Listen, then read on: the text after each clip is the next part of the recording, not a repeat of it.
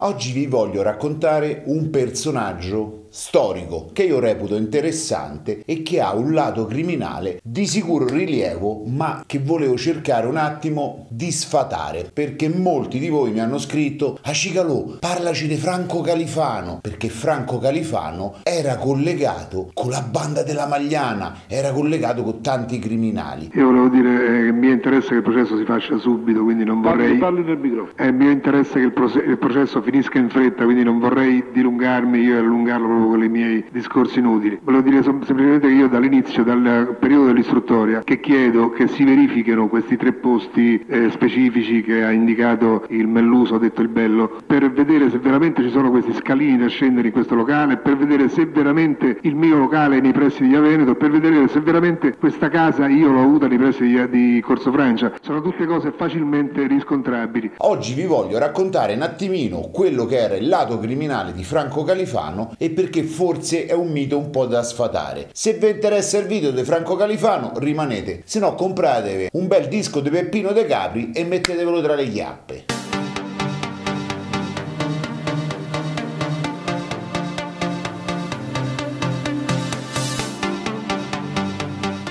Franco Califano, detto il Califfo, era un personaggio particolarissimo. Per Roma in particolare rappresentava, specie negli anni 70, un modo di vivere disincantato, divertente, pieno di donne, pieno di lusso, un qualcosa che ricordava un pochettino i boss di quell'epoca. Non a caso Franco Califano frequentava gli stessi ambienti dei boss degli anni 70. Se voi pensate alla via Veneto, quella degli anni d'oro, quando ci stavano tutti i marsigliesi, e vi ho fatto il video, quando c'erano tutti i boss che andavano ai locali a sbocciare, a divertirsi, sempre pieno di donne, sempre pieno di attori, sempre sempre pieno di cantanti, lì c'era Franco Califano. Franco Califano è diventato realmente famoso nel 72 quando ha fatto uscire Tutto il resto è noia. Ma prima Franco Califano era un autore apprezzatissimo. Perché un autore? Perché Franco Califano aveva l'abilità di scrivere, aveva il gusto delle parole, aveva cose da raccontare e le sapeva raccontare. Questo in un ambiente dove i cantanti magari erano bravi a livello vocale, sapevano intonare, sapevano cantare, eccetera eccetera, ma non avevano contenuti e in particolare non avevano contenuti veri che toccavano il cuore delle persone. Interveniva Franco Califano. Lo stesso Califano ha scritto tantissime canzoni per tantissimi cantanti famosi, quello che Franco rappresentava anche per la malavita romana. Quando si è famosi è facile che il tuo pubblico possa essere la casalinga, l'impiegato, ma anche il criminale. Qual è la differenza? È che la casalinga e l'impiegato difficilmente li incontri in determinati ambienti, cioè se vai in un locale di lusso, quelli dove si spendono milioni per una serata, non è che trovi la persona comune, ma è più facile che tu trovi il criminale e il delinquente.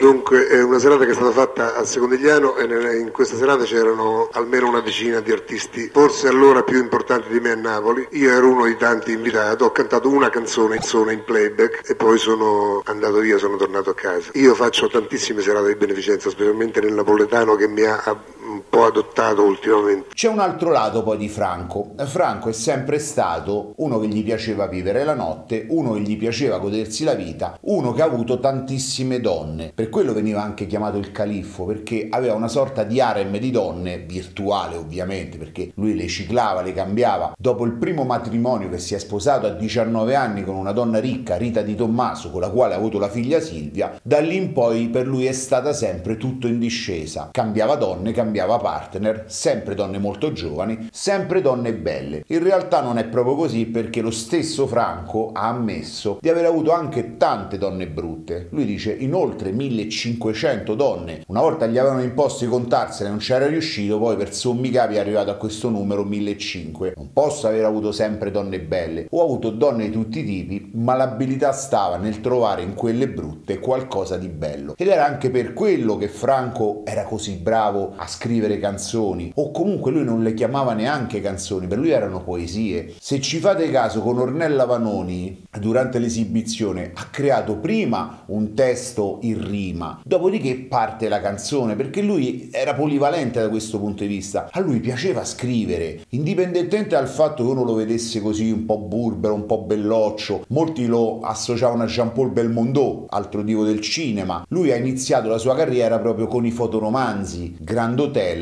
che era una di quelle riviste dove c'erano quasi tutti i fotoromanzi dove uno era belloccio, ben vestito. Lui faceva sempre la parte del cattivo, bello però, perché aveva questo fascino particolare e scriveva, scriveva indipendentemente dal fatto del suo fascino, non fascino, il fatto che poteva essere visto anche come uno un po' burbero. Scriveva, scriveva bene, aveva sempre quel piacere nel presentare una scrittura bella. Cioè lui non esisteva la correzione, sai tanti scrivono una canzone, fanno una brutta copia, una correzione, cioè lui ti doveva dare una cosa, te la doveva dare perfetta, calligrafia perfetta, ortografia perfetta, tutto bello pulito e lineare, senza una sbavatura. Aveva questo gusto un po' kitsch, ma era sempre il suo gusto. Poi lui era un appassionato, lui collezionava auto d'epoca, cani di razza e donne. Queste erano le sue tre collezioni. Ma come si è formato lui così particolare? Lui racconta questo suo modo di vivere è nato nel momento in cui è morto il padre. Il padre è morto giovanissimo a 38 anni, ha sempre lavorato, ha dapprima fatto il soldato in Libia, dove poi è nato Franco tra l'altro, e poi ha sempre fatto l'operaio instancabile, il lavoratore instancabile, che a 38 anni è morto e non si è mai goduto la vita. Diciamo questo doppio trauma l'ha mosso, cioè rimanere comunque orfano di padre giovane, aver visto un padre che lavorava sempre, ha detto sapete che c'è, si campa una volta sola e io la vita me la voglio godere. E da lì comunque è stata un'escalation e ha avuto a che fare in particolare con Francis Turatello. Ho detto era mio amico e io questa amicizia credo di pagarla, di averla pagata. Sì, era amico fin, fin, prima che diventasse importante. Io sono molto legato, ero anzi al figlio. Perché nel 72 Califano è stato arrestato. È stato arrestato perché accusato di trafficare determinate sostanze. Lui non ha mai negato di utilizzare determinate sostanze, in particolare perché suonava, faceva le nottate, poi lui era uno che si alzava tardissimo e viveva dal pomeriggio alla notte, anche in tarda età questo, frequentando questi ambienti dove giravano tante tante sostanze, va da sé che non poteva nemmeno negarlo, però ha sempre negato di fare traffico di queste cose. Le accuse erano legate al fatto che lui cedesse questa sostanza a persone degli ambienti dello spettacolo, della musica, perché lui in quel periodo era un autore rinomato, scriveva i testi, come dicevo, per cantanti molto molto famosi. Era autore di personaggi di un certo livello. Nel 72 conosce anche Francis Turatello, il boss di Milano. È dal 1970 che va avanti questa storia della cocaina, è dal 1970 che io ricevo visite in albergo eh, alle 7 alle 8 del mattino quando hanno voglia di farlo i poliziotti, è dal 1970 che vado avanti tra assoluzioni e proscioglimenti. E a riprova di questa sua amicizia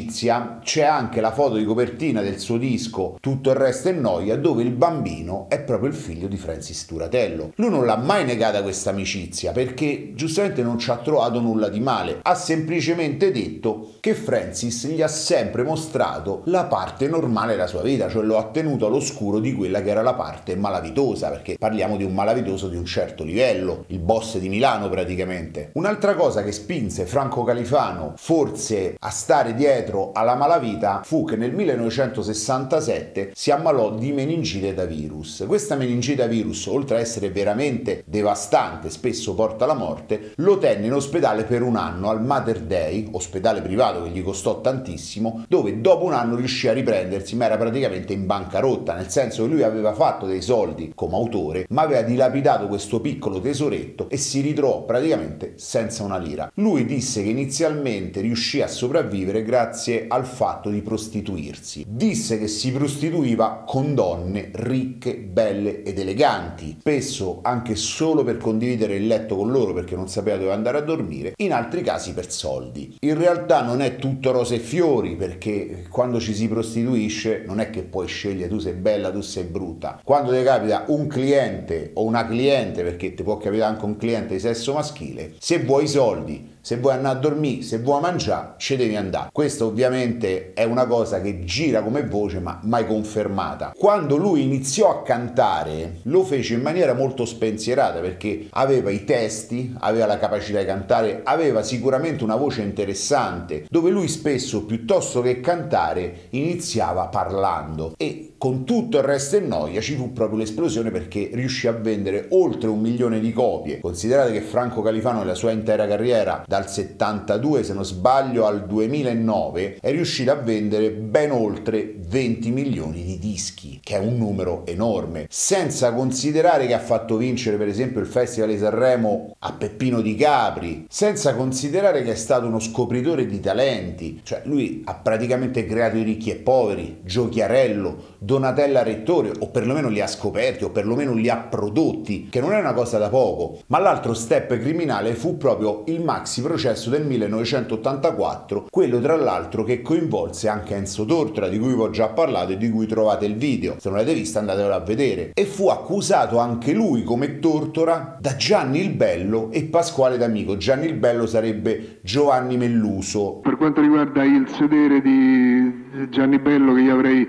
toccato e gli avrei detto quanto sei bello, chi mi conosce sa che io il sedere potrei averglielo toccato alla sorella o alla moglie magari. I quali giustamente dissero che cosa? Che trafficava le sostanze. In particolare fu accusato di essere andato a cantare a una festa di un noto boss e dopo questa festa di aver preso una grande quantità di sostanza stupefacente. Ovviamente nel processo questo lo nega Franco dicendo anche che sì, io l'ho, l'ho avuta della sostanza, ma me la so sempre comprata per cavoli miei ad uso personale perché la usavo per le serate e questa fu l'altra ammissione. Ma fu lo stesso incarcerato, come fu incarcerato Tortora. Ovviamente ne uscì assolto con formula piena perché non c'erano proprio i presupposti. Il fatto di stare sempre comunque con dei boss, avere a che fare con organizzazioni criminali, per un cantante come lui era normale perché come vi ho detto, gli ambienti erano quelli, le serate erano quelle, poi da cosa nasce cosa, comunque sono personaggi potenti, voi immaginate che Franco non era uno sprovveduto, non era uno che dice quello è un boss, stiamoci attenti. No, è normale che uno coltiva anche certe amicizie, stando attento ovviamente a non finire in determinate reti, perché finché io frequento quelle persone a livello di divertimento nei locali, può essere che ci scappa magari l'uso di sostanza, magari qualche donna in comune, magari uno ti presenta una donna, lui te la presenta, non vieni coinvolto in situazioni criminali, perché poi è quello, molti pensano, eh ma io ho visto il romanzo criminale che c'era un cantante che riciclava i soldi. Regà, a quelli non gli serviva il cantante per riciclare i soldi. Cioè, stiamo a parlare di gente che ha mosso miliardi e miliardi negli anni. Il cantante era sicuramente una persona che avevano piacere ad ascoltare, ad avere intorno e che magari lo pagavano per suonare o per cantare a una loro festa, a una loro serata. L'amicizia con Francis Turatello è molto semplice, cioè mi piace, mi sei piaciuto, sei un tipo simpatico, ma non mi servi per i miei traffici. Te fai il cantante, io faccio il criminale. Praticamente a discolpa di Franco Califano dal punto di vista criminale è proprio il fatto che Franco Califano era un artista a 360 gradi. Lui ha scritto più di mille canzoni, ha fatto tantissimi concerti, ha presenziato negli anni anche in televisione, ha fatto cinema. Da quel punto di vista lui stava benissimo ed era una persona che aveva a cuore tantissimo i giovani, anche andando avanti negli anni alcuni miei amici lo andavano a trovare a casa, andavano a casa a trovare Franco Califano, ovviamente dovevi andare dopo, da dopo pranzo in poi perché altrimenti dormiva, ma la cosa buona è che ti accoglieva a casa, ti dispensava consigli, si faceva una chiacchierata e gli piaceva stare con i giovani. E questa non è una cosa da sottovalutare. Perciò io così, sommando tutti gli elementi che ho raccolto, vi dico che secondo me è un falso mito che Franco Califano era il cantante criminale o il cantante dei criminali. Nel senso che se poi deve essere il cantante dei criminali perché le sue canzoni erano reali, erano forti e in un animo criminale potevano piacere, come ovviamente potevano piacere alla casalinga, ci stava. Poi, come vi ho detto, se a me mi piace uno, indipendentemente da tutto, mi fa piacere la sua compagnia, se Franco come cantante piaceva ai boss e i boss avevano piacere della sua compagnia, con molta probabilità lui non gliel'avrebbe negato sbagliata, ma per due motivi, perché giustamente era un uomo che sapeva vivere, perciò non è che aveva paura dei criminali, e due perché si sarebbe fatto semplicemente dei nemici in più senza motivo. Qualche vantaggio probabilmente in quei casi avrebbe potuto trarlo, magari qualche dritta, qualcosa, perché gli piaceva pure giocare ai cavalli, perché gli piaceva comunque frequentare anche scommettitori, ex pugili, comunque lui frequentava gente del popolo, infatti tra le donne lui non è che ci ha avuto tutte donne famose eccetera, lui aveva una passione per le donne così ampia, pure per arrivare a queste famose 1500 persone, lui frequentava anche donne di borgata, donne di periferia, ragazze della, della classica porta accanto e molte gli venivano presentate anche da queste persone, cioè lui aveva un obiettivo primario, andare con le donne e quello gli prendeva una bella fetta del tempo. Ogni tanto magari si faceva con qualche sostanza, gli piaceva comporre, gli piaceva portare avanti la musica, gli piaceva portare avanti le parole che scriveva, però è un personaggio che ha fatto veramente la differenza a Roma, ma non solo a Roma, in tutta Italia, dal punto di vista musicale, ma anche dal punto di vista del personaggio, anche se con i suoi difetti che sono stati secondo me nel tempo sempre accettati bene dalle persone che lo seguivano ed è riuscito a prendere tantissime fasce di utenti perché poi ha preso i genitori, i figli, i nipoti, eccetera, tutti quanti si appassionavano comunque alla musica scritta da Franco Califano. Se avete altre informazioni o altro, scrivetemelo qui sotto nei commenti. Se volete altri personaggi, scrivetemelo nei commenti. Ci vediamo al prossimo video. Ciao!